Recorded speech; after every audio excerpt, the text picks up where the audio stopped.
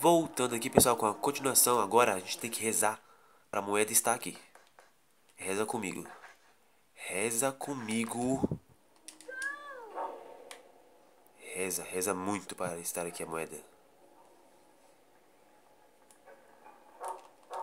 Não é quero bolinha de gude não, moleque. Eita! Que coisa maligna! Ué, setor 13 é aqui. Setor 13 é elevador. Que coisa maldita.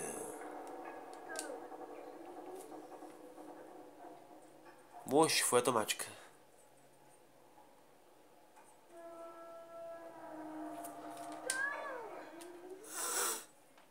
Deixa eu ver. Se tem outro lugar do mapa escrito, né? Upper. Não dá pra ir pra lá. Só se a gente conseguir subir mais. Será que dá pra subir mais? É, porque a gente tá no meio, né? Lembra que tem dois elevadores. Um que a gente pegou lá da Amanda, que é lá na ponta. E tem esse outro aqui. Será que esse dá pra subir? Tem uma escada do lado. Que misterioso. Vamos ver se dá pra escolher a opção de subir. Fifi. Dá pra subir. Vamos rezar de novo, pessoal. Reza comigo.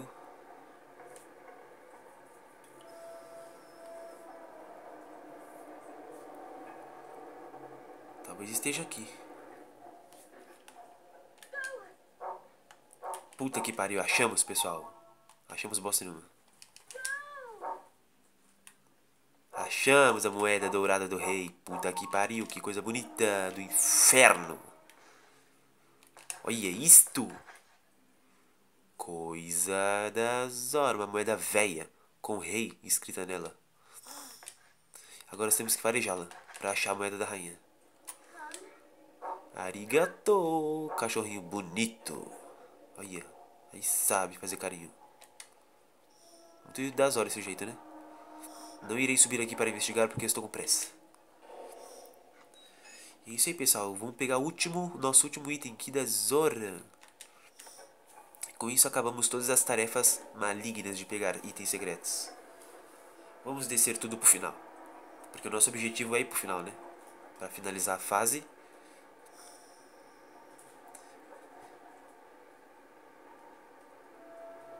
A gente tem que pegar o ursinho. O ursinho vai estar na primeira classe, se eu não me engano. E como a gente tá, vai passar por lá, Vamos farejar a moeda. Não consegui. Eu. Vamos chegar mais perto. Segundo a anotação que eu achei, vai estar naquela naquele lugar de guardar as cargas da classe média, onde o coelho pulou em nós que ele estava numa caixa, lembra? Vamos ver.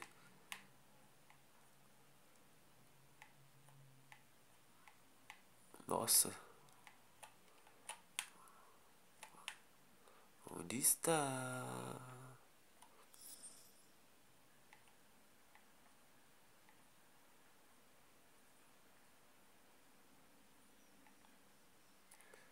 Quer dizer, eu acho, né?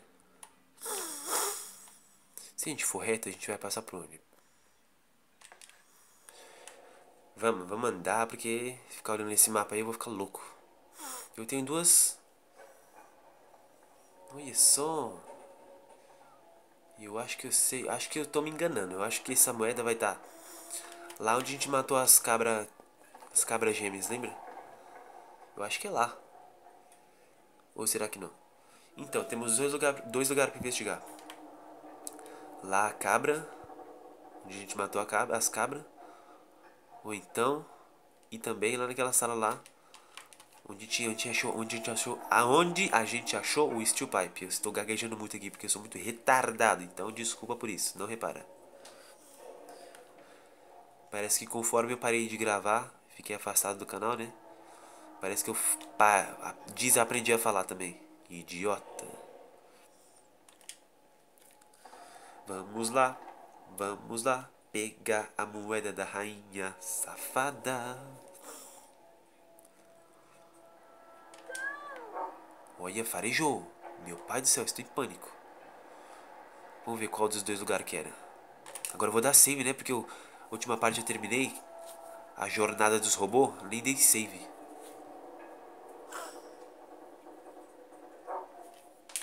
Vou dar save aqui.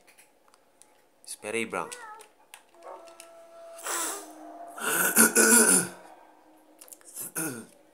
Sala imunda. Vamos dar um save muito bonito. Que nós merece, né?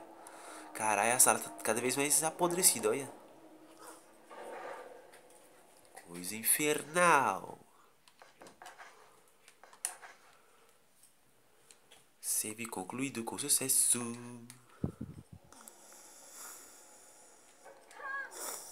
Imagina o fedor também que deve ser essa sala, né? Setor 8. As cargas. Vai lá, cachorrão. Acha a moeda pra nós. Eu tô em dúvida se é essa sala daqui. É essa mesmo. A sala que o Poelho culou em nós. Que o. Nossa, Poelho culou em nós. Meu Deus do céu. Eu vou ficar quieto. Eu desaprendi a falar. Eu achava que era prateada essa moeda. Que tesouro. Mesma coisa, só que está escrito rainha. E é isso aí, pessoal. Pegamos todos os itens bonitamente secretos. Então, espero que tenham gostado. Foi tenso, né? Valeu, John Chan, pela ajuda, pelas dicas. Espero que vocês tenham gostado. Espero que o Lorde tenha gostado de ver a marreta, né? Ele pediu para nós pegar. Pegamos os robôs também. Eu não, não ia pegar os robôs porque vocês viram como é tenso, né? Mas mudei de ideia. Agora vamos colocar as moedas na caixa para ver a arma maléfica que, que libera. O outro lugar que eu tava em dúvida era esse aqui. Lembra? As cabras tesoureiras. Uma das cabras tesoureiras, né? A outra era a fada garfeira. Garfo maligno dos satanás. Muitas enrolações depois.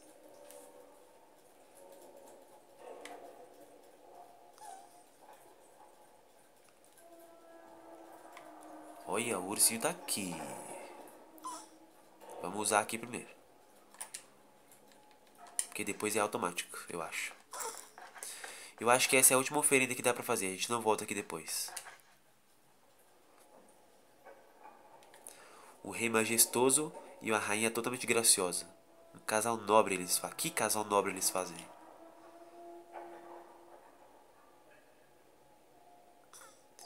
Eles estão fazendo não sei o que lá. Agora coloque as moedas em minha barriga. Vamos ver a arma secreta.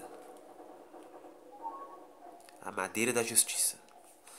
Pelo que falou lá na internet, é muito fraca essa madeira. Vamos ver.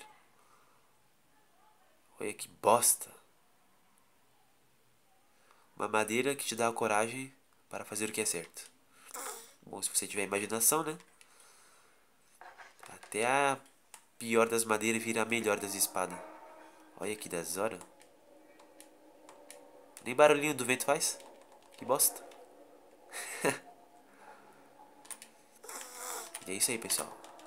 Acabamos as missões dos itens secretos. Vamos pegar essa bosta aí. Joshua Urso. E agora a Susan escrota viu tudo. Guardar minha colinha aqui.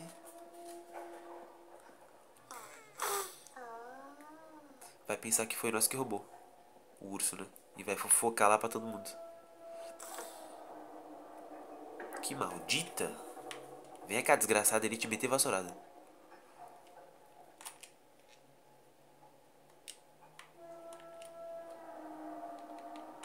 Vamos colocar urso.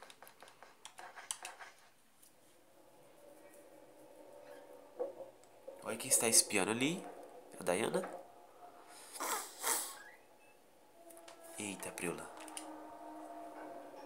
Agora uma das melhores cenas que eu gosto muito. Acho bem maléfica. A sala tá satânica.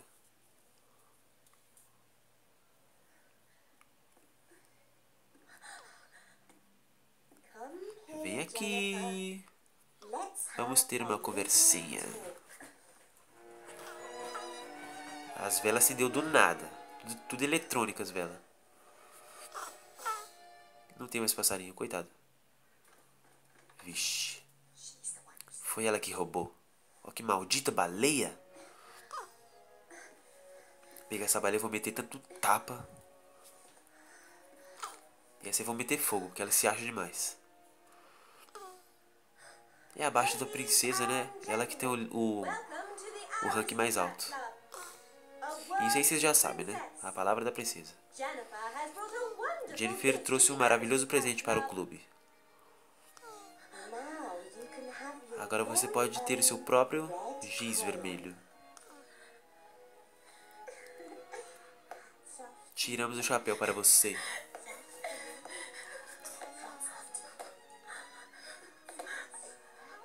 Baleia maldita.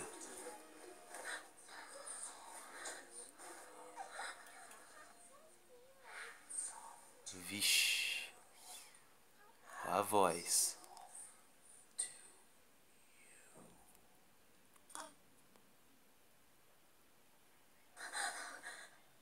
Os capetinhas.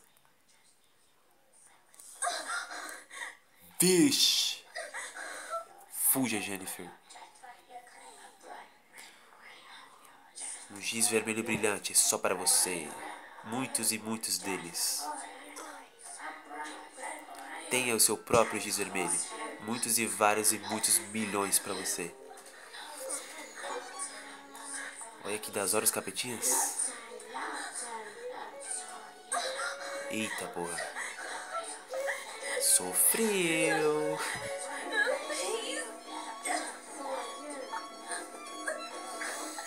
Eita porra. Agora aquela cena da abertura, muito das horas, né? Massacração final. Coitada. Essa cena é muito dureza, muito tensa. E finalizamos o capítulo. O capítulo repleto de itens. Quero save. Com certeza vou dar save agora.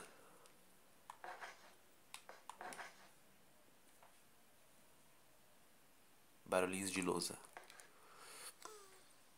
Penúltima fase. Novembro. O funeral. Vixe! De novo um caixão podre. Remexendo embaixo da terra. Enterrado vivo. Olá, garotos e garotas. Como estamos hoje? A roupa deve ir lá pra sala suja e não sei o que lá, os papel também. Limpeza da primavera. Todo mundo traga suas vassouras e panos para limpar. Você quer que eu limpe? Você quer que eu mesmo limpe, crianças? Olha que velho maldito fazia as crianças limpar. E Jennifer foi massacrada. A roupa toda rabiscada, né? Lembra que na abertura mostra o giz? Ele rabiscando ela com o giz? Olha isso.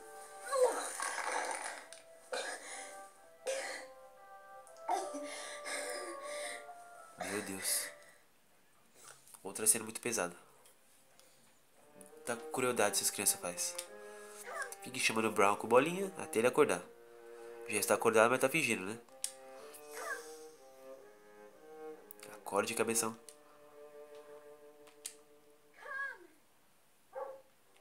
Aí sabe. O que musiquinha das horas. Devore tudo, está acordando.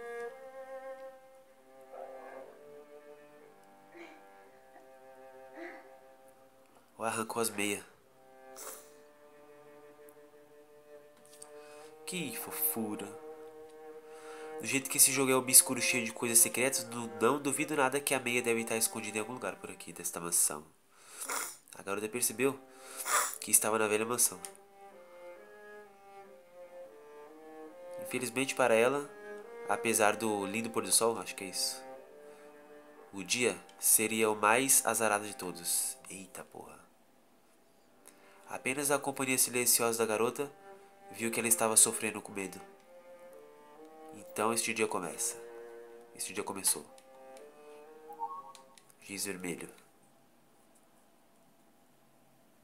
Eu sempre, sempre vi as garotas falando que o giz vermelho é a marca do, de um aristocrata. Vou pegar esses giz vermelhos, suas malditas. Vou fazer, fazer vocês comer tudo. Essas malditas safadas. Olha o desenho aqui. Coisa bizarra pendurada. Um desenho maligno ali. Dá pra dar save de novo. Se quiser. Olha que negócio escroto. Fica balançando ali. Vamos dropar várias coisas. Que não vamos. Oh, o diário do velho. Faca de cozinha velha. A madeira podre. Os robozinhos legal. Queria ter um robô desse. A espada enferrujada pode também. Chocolate. Eita porra. Chocolate pode. A gente tá tão forte que acho que a gente não vai levar muitos danos. Vou deixar só os pirulitos. Beleza? Agora vamos ler o Diário do Gregory, que eu fiquei em falta, né? De ler pra vocês. Tentar ler, né? Diário do Sr. Gregory M. Wilson. É pra usar a cabeção. Ali está falando que o céu está claro. Hoje ele estava. Hoje eu estava fazendo não sei o que lá nos campos. Acho que estava arando os campos. O trabalho foi bem. Mesma coisa mexendo na terra de novo. Amanhã acho que eu vou levar meu filho Joshua comigo para ver é, para sair lá nos campos, né? Hoje ele fez a mesma coisa de novo, cuidou dos campos. Ali tem chuva, né? Falou que estava chovendo de tarde e fez a mesma coisa no campo. Joshua não, Joshua não está se sentindo bem, então eu trabalhei nos campos sozinho, como sempre. Mesma coisa ali embaixo. De novo. Amanhã Amanhã de manhã eu vou até a cidade vender as, as ervilhas. Então de noite eu devo fazer umas preparações. É um dia. Realmente é um dia muito, muito ocupado, muito atarefado, né? Eu lá, fui lá para os mercados vender as, as ervilhas e as cenouras. Eu tava esperando, eu tava esperando que eu podia, que eu pudesse alimentar bem o Joshua com alguma coisa nutritiva. Mas as vendas não estavam muito boas, então eu não fui capaz, não fui capaz de comprar muita coisa. Muito triste isso. Mesma coisa trabalhando no campo, o trabalho foi bem. O Josh estava fazendo não sei o que lá. Ele estava comendo os doces, né, e tal. Ai, olha só, estava comendo os doces do armário sem permissão trabalhando no campo. Era um Chile, não sei o que pode ser.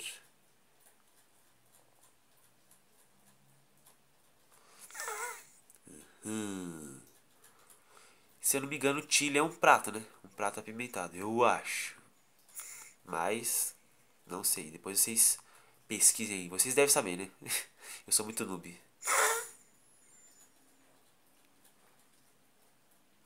Ele falou que vai dar alguma coisa pro, pro Joshua, pra ele não ficar com frio. Alguma roupa, acho que é isso, né? Pra ele não ficar com gripe. Joshua está com febre, parece. Está abaixo da temperatura. É, teve uma febre leve. Então alimentei ele com alguma. um pouco de sopa de. sopa de ervilha. Trabalhando no campo e tal. Plantou as ervilhas no chão chuvoso dia.